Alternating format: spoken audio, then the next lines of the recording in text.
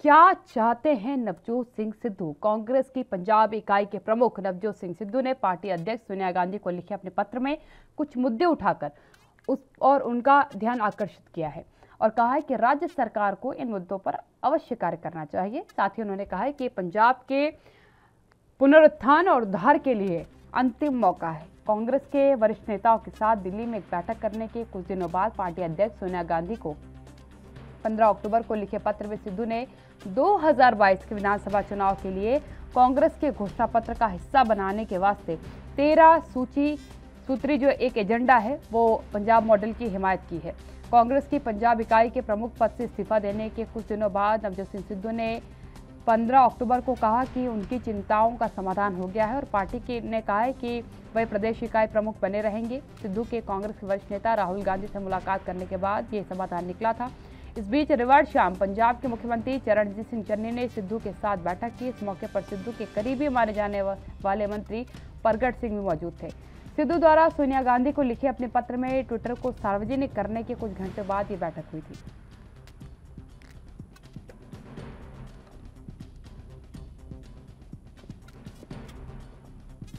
तो आपको बता दें कि नवजोत सिंह सिद्धू ने तेरह सूत्रीय एजेंडे के साथ एक पत्र, जो है, रखा है सोनिया गांधी के सामने। उन्होंने मांग की है कि इन एजेंटों पे हमें काम करना होगा, तभी आगामी चुनाव में कुछ अच्छे परिणाम जो है वो पंजाब में देखने को मिलेंगे। चाहे वो रोज़गार की बात कर लीजिए आप, चाहे वो परिवहन की बात कर लीजिए आप, चाहे बिजली की बात कर लीजिए आप, चाहे कई मुद्दे हैं। देखिए क्योंकि हर राज्य के विकास के लिए अहम मुद्दे होते हैं कुछ, और उन अहम मुद्दों पर कहीं ना कहीं अब नवजोत सिंह सिद्धू चाह रहे हैं कि सरकार ज़्यादा अपना ध्यान आकर्षित करे और उसकी तरह ज़्यादा काम करे। क्योंकि मनाने की कोशिश की अगर बात की जाए, क्योंकि नवजोत सिंह सिद्धू मान तो गए, लेकिन उन्होंने कहा था कि मैं अपने पंजाब की लड़ाई लड़ता रहूँगा और जो अधिकार मेरे पंजाब के बनते हैं, उन अधिकारों की लड़ाई में हमेशा से लड़ता आया हूँ, लड़ूँगा चाहे अकेले लड़ना पड़ जाए। ये ये बातें कहीं ना कहीं इस बात को क्लियर कर रही थी लोगों को कि कुछ कुछ मुद्दे ऐसे हैं जिन पर शायद काम नहीं हो पा रहा है और उन कामों को लेकर के सवाल खड़े कर रहे हैं। आपको याद होगा, इससे पहले नवजोत सिंह सिद्धू ने कैप्टन अमरिंदर सिंह पर नशे पर काम ना करने का आरोप भी लगाया था। उन्होंने कहा था कि कैप्टन अमरिंदर सिंह ने कुछ भी काम जो है, वो नहीं किया है। तो ये ये कुछ सवाल है जो यकीन खड़े होते सी के ठाकुर जी मेरे साथ जुड़ चुके हैं। कांग्रेस से हैं। उमेश सिंह जी भी मेरे साथ जुड़ चुके हैं, भारतीय जनता पार्टी से हैं। सबसे पहले सी के ठाकुर जी के पास जाऊँगी। ठाकुर जी, तेरह सूत्र एजेंडा। सोनिया गांधी जी के सामने रखा गया है। क्या विचार विमर्श होगा? नहीं, विचार तो पार्टी फॉरम में है और राज्य हित में जो काम होगा, वो तो करना ही चाहिए, सिद्धू जी ने लिखा है। सिद्धू जी से या तो उस चीज़ को फॉलो नहीं कर पाए होंगे वो, जो कहा था कि पार्टी के अंदर अपने प्लेटफॉर्म पे रखना है इंटरनल बाहर फ्लैश नहीं करना है। हो सकता है उनको समझ में नहीं आया होगा फ्लैश कर दिए।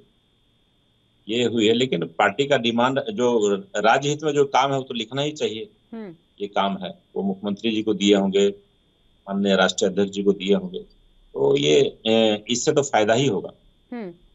लेकिन इस पत्र के बाद अभी भी लग रहा है कि नाराज़ हैं वीरव जो सिंह सिद्धू क्योंकि उन्होंने कहा था कि मेरी मांगों पर विचार करने की बात की गई थी मेरे मांगे मानेंगे ये लोग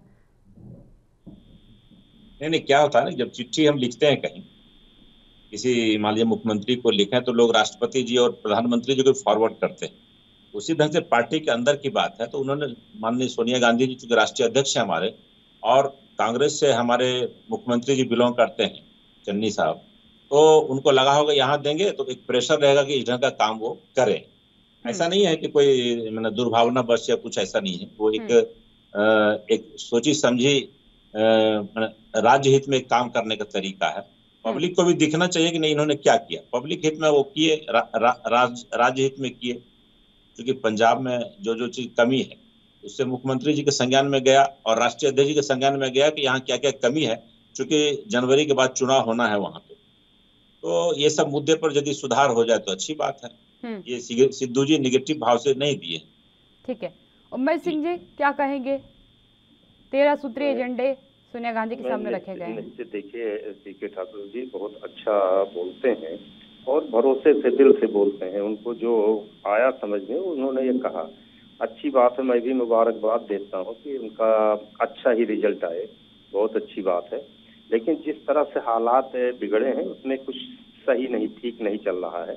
जिस तरह से आरोप प्रत्यारोप इस्तीफा देना और फिर जो है उसके बाद मुख्यमंत्री का जा करके और इस तरह से बयान देना मैं इनको बर्बाद कर दूँगा। उनको बयान देना कि मैं जो है उन्होंने कहा यहाँ तक कि सिद्धू जी को, प्रदेश अध्यक्ष को ये तो पाकिस्तान से मिले हैं। वो ठीक है, उन लोगों का मिलाप पाकिस्तान से है। ये आपस में ही सिद्ध करते रहते हैं और देश भी जानता है, ये चीज़ देश समझता है ये चीज़ें हैं। तो वो अपना बताएँ, ठीक है, इससे अगर इनको फ़ायदा मिल रहा है तो मुबारक तो अच्छी बात है। उसमें वो मेरा लेकिन उमेश सिंह जी इससे पहले भी जो तेरह सूत्रीय एजेंडे की हम बात कर रहे हैं इससे पहले भी कई बार कई एजेंडों पे नवजोत सिंह सिद्धू अपनी ही सरकार को घेर चुके हैं क्या आप लोगों ने इस पर कुछ नहीं किया है। क्या लगता है आपको? क्योंकि आगामी समय में चुनाव होने वाले हैं। कम समय में ये तेरह मांगे पूरी हो जाएँगी तेरह सूत्रीय एजेंडों पर काम हो जाएगा। तेरह सूत्रीय कार्यक्रम मांगे पूरी हो या नहीं हो वो अलग बात है। वो हम्म। तो समय बताएगा और उनकी राष्ट्रीय अध्यक्ष बताएँगे। हम्म। अध्यक्षा जी तो लेकिन लेकिन इतना ज़रूर है कि वो तेरह कर्म कर दिए पार्टी का हम्म। उन लोगों ने आपस में लड़के जनता आज इतना त्रस्त है कि ये लोग आज साल दो साल से हम्म। केवल काम जनता का काम करने के लिए जनता सरकार बनाई थी इनको काम करने के लिए हम्म। जनता के भले में डिसीज़न लेने के लिए जनता के फेवर में डिसीज़न लेने के लिए लेकिन इन लोगों ने आपस में ही अपनी पोल खोल रहे हैं कि कोई पाकिस्तान का एजेंट है कोई कुछ है। इस तरह की बातें जो है देश जो है उसके हाथ में चला गया है जो कि सुरक्षित नहीं है। तो ये आपस में ये लोग पोल खोलो अभियान लगाए हैं। हम्म। ये ये चीज़ है ये जनता के सामने हम लोगों को किसी विपक्ष को बताने की ज़रूरत है। अगर विपक्ष कहता हम आज कहते तो शायद ये कहते कि ये लोग बदले की भावना या गलत या गलत बदनाम कर रहे हैं। तो वो चीज़ वो लोग खुद कर रहे हैं। जिससे आज पूरी जनता पूरी पंजाब की जनता चार महीने तीन महीने चुनाव रह गया है पूरी जनता त्रस्त हो गई है और वो उब चुकी है। हम्म। आज चुनाव हो जाए जनता एकदम साफ़ करके इनको बाहर कर देगी ये बीस साल फिर आने वाले नहीं है। हम्म। वो उनकी हालत ये हो गई है पार्टी की। तो ये कुछ भी अनाप शनाप अपना कार्यक्रम कर रहे हैं बयान दे रहे हैं आपस में ही लड़ रहे हैं उसमें हम लोगों का कोई लेना देना नहीं है। अपने आप जनता इनको सबक सिखाएगी क्या कर सकते हैं ये?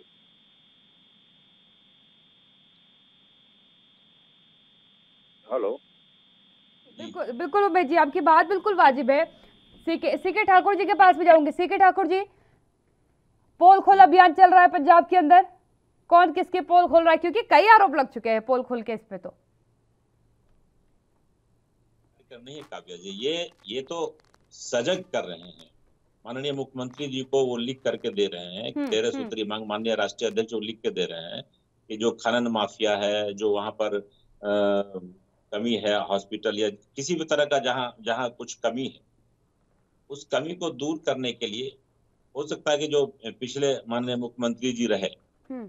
कैप्टन साहब कैप्टन साहब से जो काम पूरा नहीं हुआ तो वो चन्नी साहब पूरा करें उसको ठीक है जो अधूरे काम है ठीक है ठाकुर जी ब्रेक का वक्त हो गया है छोटे से ब्रेक के लिए रुक रही हूँ जल्द हाजिर होंगी क्योंकि देखिए मुद्दा कई है आरोप कई है जवाब लूँगी ब्रेक के लिए रुक रही जल्द हाजिर होती हूँ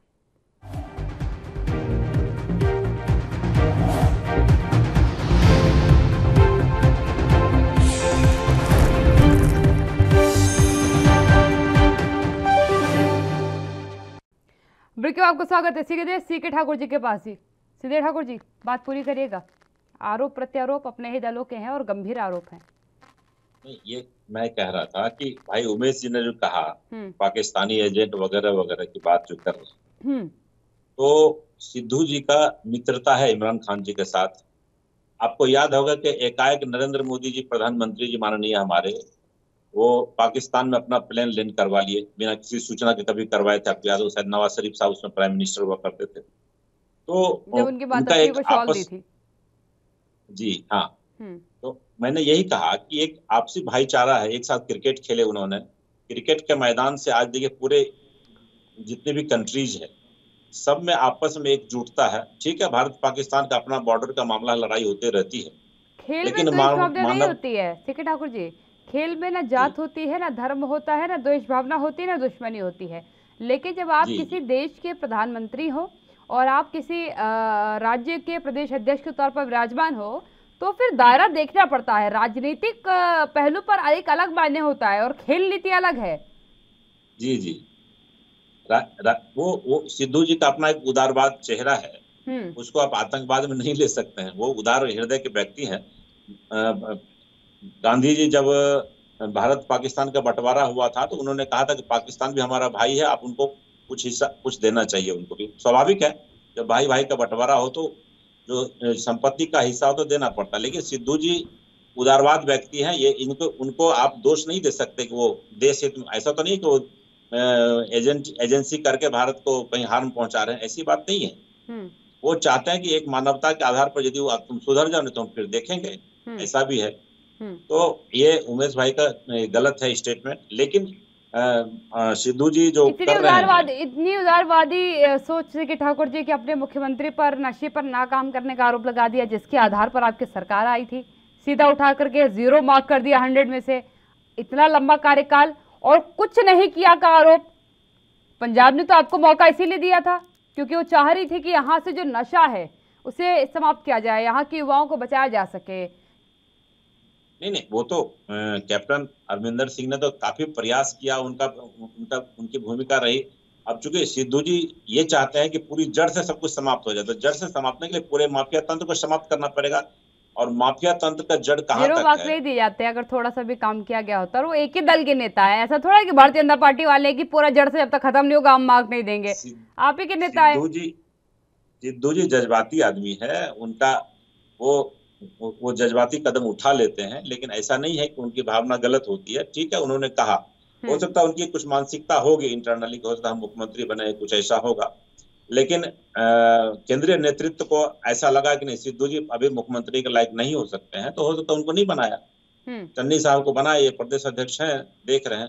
लेकिन अभी उनका जो ये बयान आता है या तेरह सूत्री मांग लिखे हैं तो वो चूँकि मुख्यमंत्री को कंसस कर रहे हैं कि आने वाले समय में जो चुनाव है उसके पहले आप इन इन मुद्दों पे सुधार कर लीजिए। हम्म, और ये एक कॉपी उन्होंने सोनिया गांधी जी को भी फॉरवर्ड किया। ऐसी बातें हो सकती है। हम्म, लेकिन ऐसा नहीं है कि सिद्धू जी कोई गलत काम कर रहे हैं। हम्म, ठीक है। मैं उमेश जी के पास जाऊँगी। उमेश जी आप क्या कहेंगे आप? भावनात्मक व्यक्ति है नवजोत सिंह सिद्धू। कह दिया कह हाँ, दिया क्योंकि टोटल वर्क नहीं हुआ था।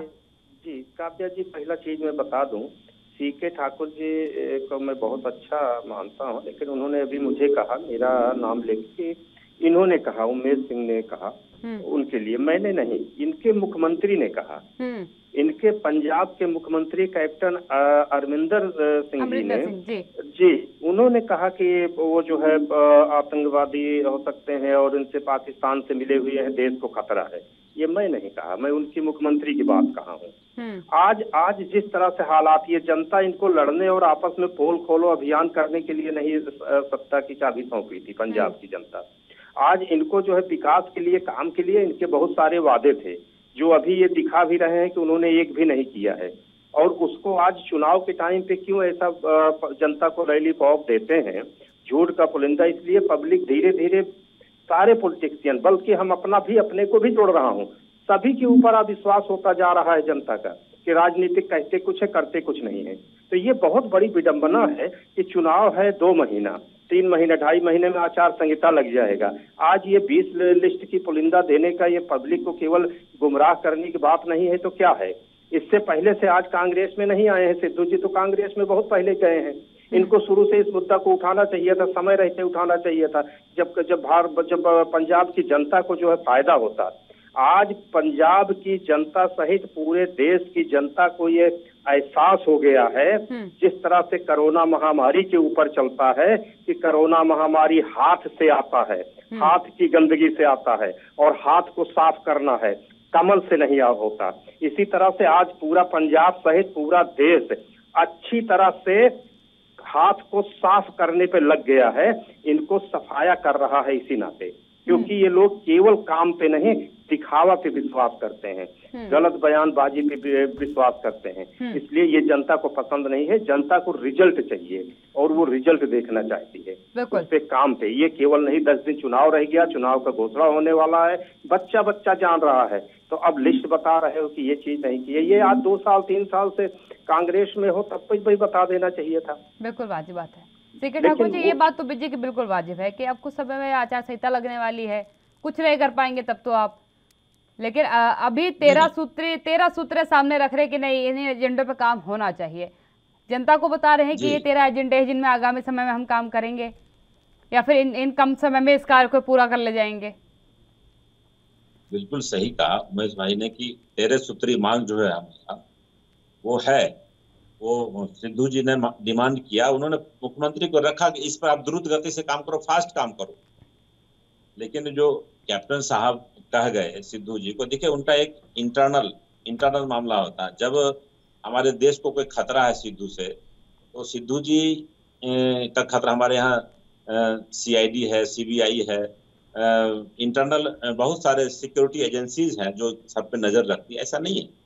वो कैप्टन साहब आपस में चूँकि इन लोगों का अपना बनता नहीं था और वो इस्तीफा भी दिए इसी मुद्दे पर तो ये कुछ कहा गए होंगे जयवाल लेकिन ऐसा नहीं है कि सिद्धू जी गलत आदमी है। सिद्धू जी अच्छे आदमी हैं। सिद्धू जी चूँकि अभी मुख्यमंत्री जी चन्नी साहब को ध्यान में रखा रहे आकृष्ट करवा रहे हैं कि आप इन तेरह मुद्दों पे काम करो और द्रुत गति से करो ताकि जनता वहाँ देख पाए। हम्म। और पहले से कैप्टन साहब काम करते आ रहे थे। ठाकुर जी हो पाएगा। क्यों नहीं होगा? देखिए जब जब फास्ट काम करेंगे किसी जगह आप जब आप देखते हैं कोर्ट में कि फास्ट ट्रैक कोर्ट बनता है तो उसी ढंग से वो भी बनाएँगे उस फास्ट ट्रैक मुद्दे कोर्ट पे काम समय लग जाता है। छह महीने की अवधि तो फास्ट ट्रैक कोर्ट को भी दी गई है। आपके पास तो उससे कम ही समय होता है। काम होता है काम देखिए काम जब मन बना लेना मुख्यमंत्री और प्रधानमंत्री तो काम होता है। हम्म। काम करेंगे। मतलब मैं मानूं कि जिन मुद्दों पर अभी तक पंजाब की सरकार को बार बार घेरा जा रहा था उन मुद्दों पर अब आप काम करेंगे। नहीं काम चल रहा है लेकिन उसको चूँकि फास्ट काम करके उसको समाप्त करना उस, उस माफियागिरी को या जो भी वो आरोप लगाए हैं उनको विचार देखेंगे क्या है। सिद्धू जी को नज़र आया होगा या सरकार भी देख रही होगी तो उस पर काम करेंगे वो। और काम करके आचार संहिता से पहले वो समाप्त करेंगे उस चीज़ को। ठीक है। अमृत सिंह जी अगर आगामी भविष्य देखूँ मैं पंजाब का क्या लगता है आपको देखिए पंजाब की जनता बहुत ही त्रस्त है हम्म। और उनके मैं तो पंजाब के लोगों से मिला हूँ देखा हूँ गया हूँ हाल में ही जल्दी में मैं अभी एक हफ़्ते पहले ही पंजाब की काफ़ी बड़ी टीम आई थी। मेरी अभी माननीय रक्षा मंत्री राजनाथ सिंह जी से, कानून मंत्री मिस्टर बघेल साहब से, मैं कृषि मंत्री नरेंद्र साहब ज- से, मंत्री मिला। अभी उन लोगों के यहाँ काफ़ी लोगों से, पंजाब की टीम से बात हुई। वो लोगों ने कह रहे हैं कि जिस तरह से धोखेबाजी हुई, जिस तरह से धोखा दिया गया, जिस तरह से लोग आपस में लड़ते रहे, हम लोग ठगे से महसूस कर रहे हैं। कि ये किस तरह से क्यों हम इनको बनाए। आज जो है हम लोग पचासों साल से देख रहे थे, लेकिन एक बार फिर धोखा हुआ था। लेकिन ये अंतिम धोखा है। अब इसके बाद 20 साल 25 साल पंजाब की जनता इनके झांसे में आने वाली नहीं है। इस टाइप के शब्द पंजाब के लोगों का है, पंजाबियों का है। जो लोग इस तरह का बयान दे रहे हैं, इस तरह की बातें कर रहे हैं जनरल पॉलिटिशियन नहीं है। वो बेचारे किसान हैं काम करने वाले हैं बिजनेसमैन हैं दुकानदार हैं। इस टाइप के जनरल लोगों का कहना यह है। लेकिन तो इसमें तो कॉन्फिडेंट बैठे ना कि किसान आपसे नाराज़ है। पंजाब में किसान वोटर्स की तादाद बहुत बड़ी है। कांग्रेस आश्वस्त है कि आपसे और अकाली दल से तो नाराज़ है किसान तो आपको तो वोट नहीं देंगे बचेंगे वो हम ही हमको मिलना है। मैं इसमें सुधार कर दूँ। वो ठीक है आप लोग कह रहे हैं ठीक है कहना भी चाहिए क्योंकि वो लोग भी मेहनत कर रहे हैं। हम्म। लेकिन कौन मेहनत कर रहा है कौन किसान है वो किसान नहीं है। किसान का सा, सारा देश देख चुका पूरी दुनिया देख रही है कि ये किसान नहीं है। ये लोग तो आज एकदम आतंकवादी जैसा काम कर रहे हैं। ये लोग तो ये लोग तो सौदेबाजी करके अपना अपना जो है चुनाव के लिए प्रचार कर रहे हैं केवल। बाकी कर कुछ नहीं पा रहे हैं। ये तो खत्म कर दिया है इन्होंने। किसान के नाम पे धब्बा है ये लोग। किसान हमारे किसान भाई इन बयानों पर आपको और लग रहा है कि किसान आपसे मान जाएँगे। जिन्हें आप किसान मानने को तक तैयार नहीं हो रहे हैं। ये देखिए ये मुट्ठी भर इनके बातों को ये लोग तो कत्ल कर रहे हैं। ये लोग तो दुनिया भर के कुकर्म कर रहे हैं। इन लोगों का क्या क्या चीज़ नहीं ओपन होके आया? क्या क्या चीज़ आप लोगों ने नहीं दिखाया पूरे देश को? आज पूरा देश इन लोगों को किस निगाह से देख रहा है वो आप असलियत देखिए गाँव में जाके। आज गाँव के किसान जो है पूरी तरह से अपने कामों में लगा है। साल भर से ये लोग किस तरह से ड्रामेबाजी किस तरह से के पार्टियों के इशारे पे काम कर रहे हैं। जबकि उस जनता जान चुकी है इसलिए इनका कोई असर नहीं पड़ रहा है। ये ये गए थे कलकत्ता में गए थे तो भाजपा साफ़ करने वहाँ ये कांग्रेस और कम्युनिस्ट को ही साफ़ करके चले आए। तो ये देखिए इनकी इनकी आदत को लोग तो जान चुके तो आप हैं पर भी डाला ना। असर तो आप पर भी डाला। हम हम तो, हम तो तीन से अठहत्तर पे गए मैडम। हम तो तीन से अठहत्तर की बात ही नहीं हुई थी ना वहाँ तो। वहाँ मंच से तीन से अठहत्तर की बात ही कहाँ हुई थी? वहाँ तो दो दो मई दीदी गई हुआ था।